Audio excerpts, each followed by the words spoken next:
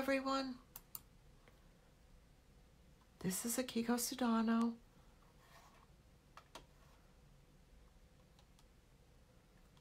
I'm to check and see if I'm, oop, it says I'm live right here. Good. Yes, okay.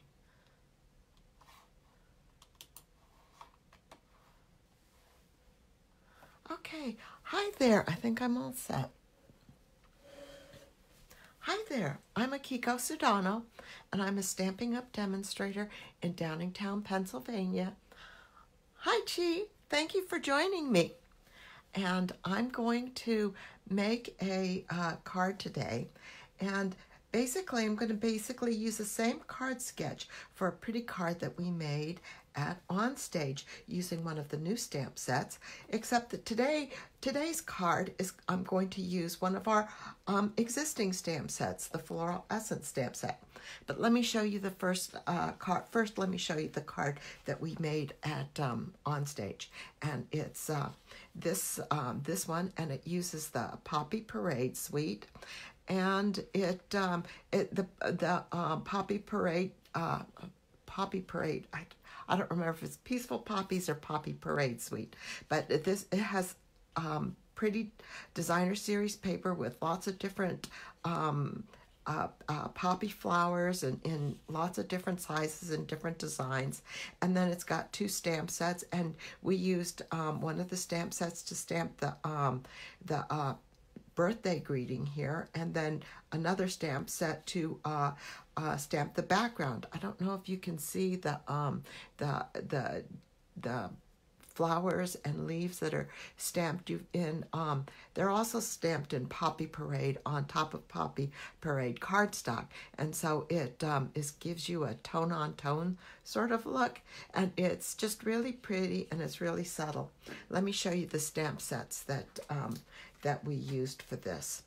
Um, I think it's called, the suite is called Peaceful Poppies. And there are two stamp sets in the suite. One is the Painted Poppies stamp set, and the other one is the Peaceful Moment stamp set.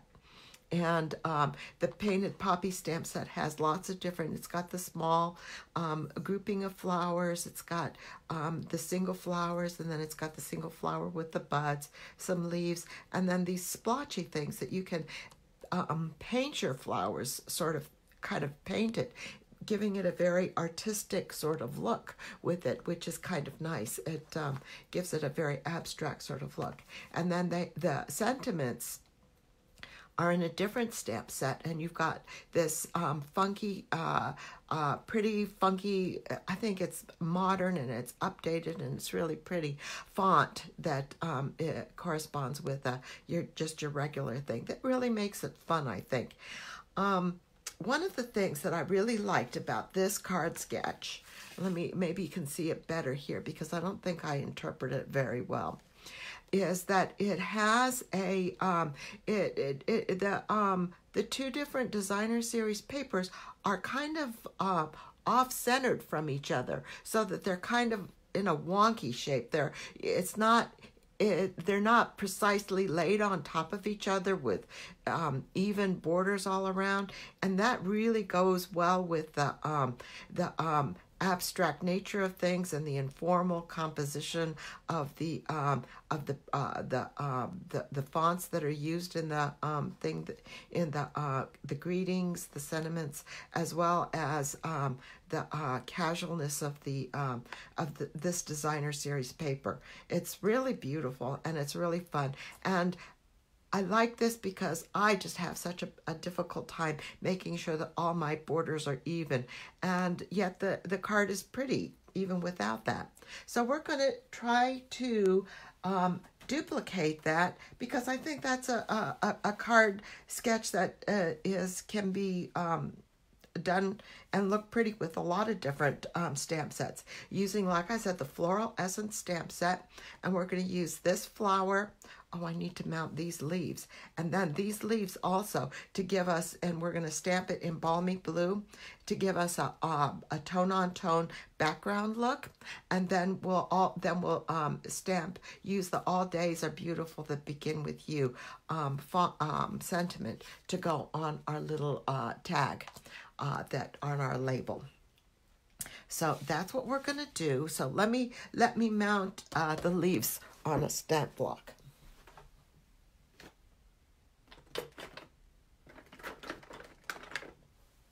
Here we go. I hope you can hear me okay today because I had uh, didn't realize that um, the volume on my phone I usually have it turned turned down and then um, as part of my checklist for getting red, ready for uh, YouTube videos um, was one, uh, make sure that I have plenty of power. Two, make sure that I have a good uh, um, internet connection. And now three, it's make sure that my phone volume is turned up so people can hear me. So I'm going to put this aside also. And we'll start by stamping the uh, flower, move all our other papers in uh, balmy blue, and this is a piece of balmy blue cardstock. And I've already folded it in half, and this is going to be the card front, and here is the uh, the flower. So we'll start with the flower.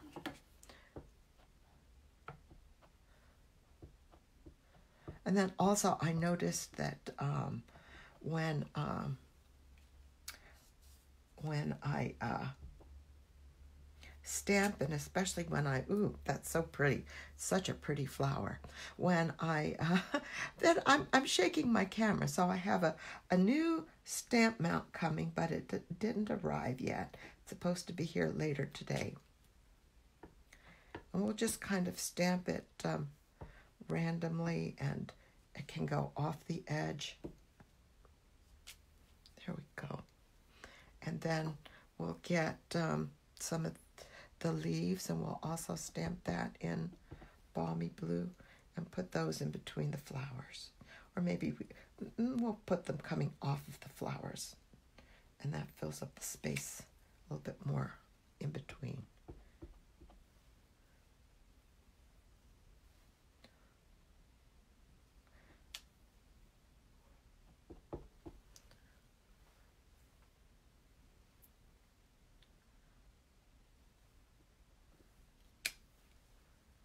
think that's good.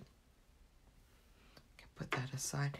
Then I've got a, a piece of whisper white here for the inside of the card. And so I think what I'm going to do is I'm going to stamp uh, uh, the flower again on the sides of the uh, card.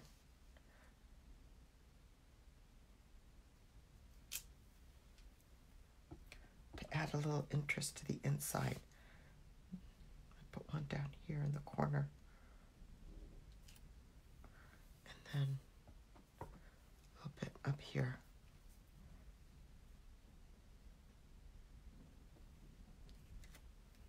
There.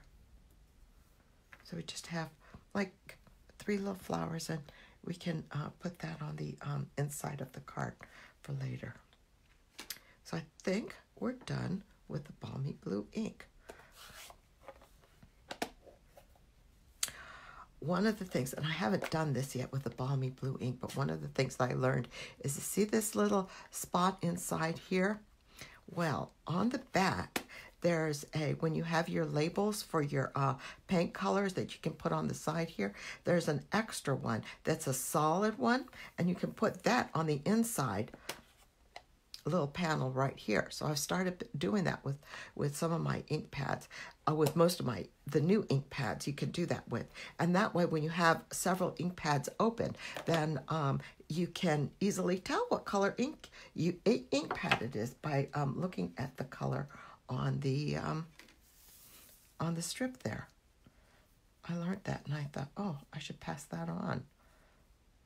All right, now let's get our sentiment and stamp our sentiment in uh, Memento Tuxedo Black ink.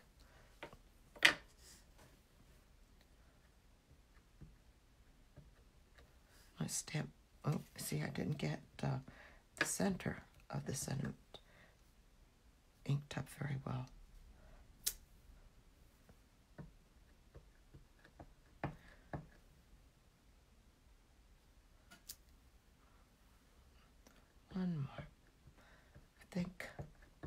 It's uh, about time to re-ink my memento pad.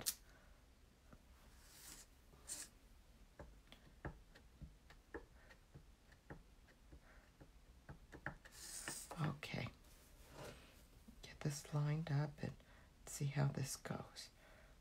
All days are beautiful that begin with you, so we want to leave a little bit on the top for the ribbon. And I don't remember what the sizes of my paper are, but when I uh, publish tomorrow in my blog, I, it looks like I had a piece of uh, of uh, lint in my uh, stamp.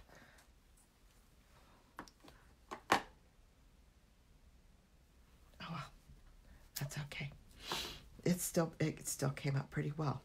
Um, up up in, in my blog tomorrow, I'll put uh, the sizes of all of the different uh, different pieces of paper that we um, that we use. So I used um, one side, and um, this is um, the this is uh, a green color, and then I wanted to use um, the um, this one. So what I'm going to do is I'm going to just adhere these down with the snail. Excuse me.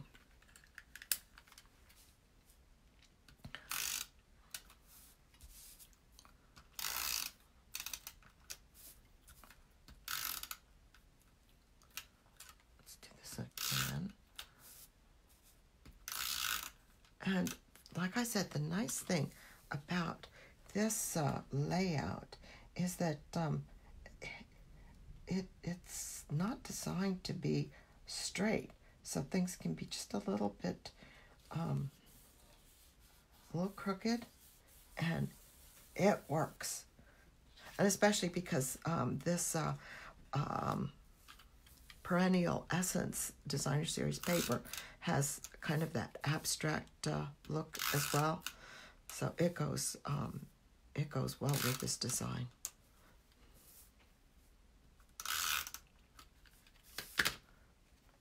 And then put this on. And I think that's the way it goes. And just kind of put it on top. They kind of crisscross and overlap like that.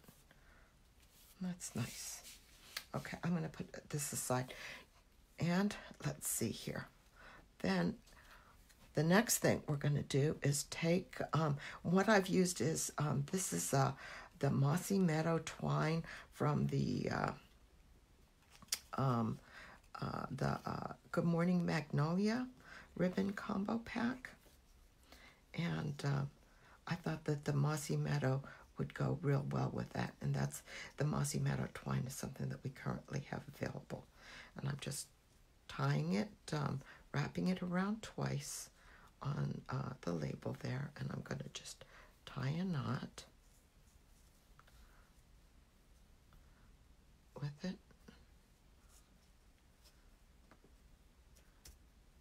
There.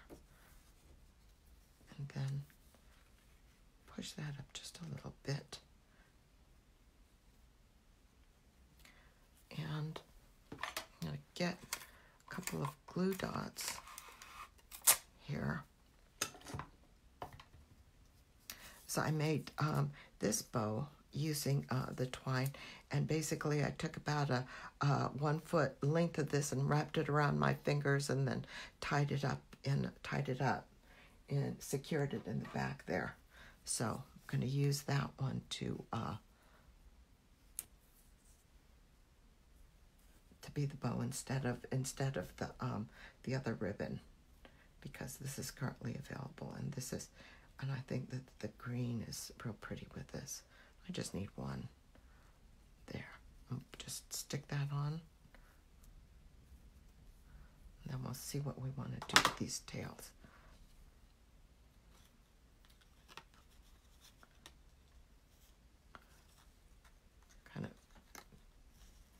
give them a little bit of structure, make them not look so crazy, not so wild and crazy, and then we'll trim them, trim them out.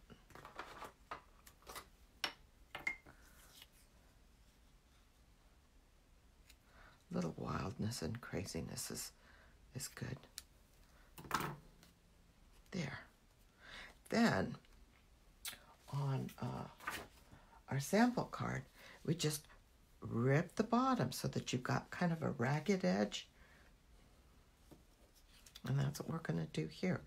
And rip it in such a way that it's um, the part that you're not going to use is kind of going towards you. And you can control it so that you can get as uh, ragged and edges that you want and at the angle that you want. And I think that looks pretty good. And then we'll put some in, in uh, the card that we made it on stage. That uh, ribbon was very, very flat. And I think that um, for um, any other kind of ribbon, I think that you're best off putting dimensionals on it so that you don't get a bump on the bottom of the uh, underneath the ribbon. If you put it flat on, you could get a bump. Have all these all these dimensionals. There we go. I'll pull the covers off.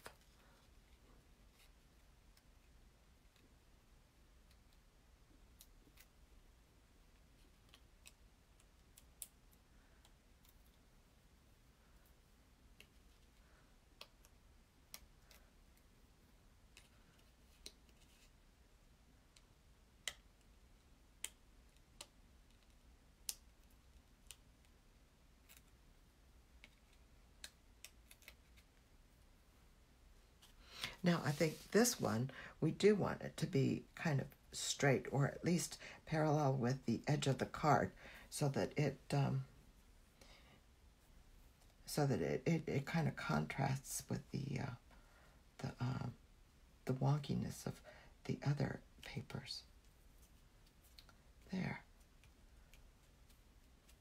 And then to finish it, let's get, and these are the noble rhinestones. We need a little bit of uh, shine. So I think, what color? There's so many pretty colors. I, I think I like the greens. So we'll use, pick, just pick off the rhinestones, and this is always a little tricky for me. Yeah, gives you, that shows up maybe three different colors, maybe a green and a pink.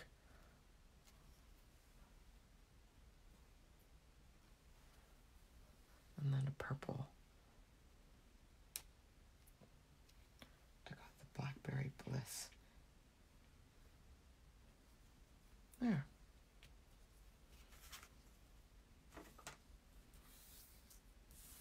Okay, now for the inside. Come on, come on. So we stamped the edges. We still have room for um, for plenty of room for writing our sentiment. But then it's like a question of do we want to put um, the uh, designer series paper strip on the bottom or not? I cut it because I was thinking about it, but then afterwards I thought, oh, maybe that's just a little too too much. I don't know. What do you think? I think maybe I think maybe it's better without the designer series paper. So we'll just do that and we'll just add some more snail to the back.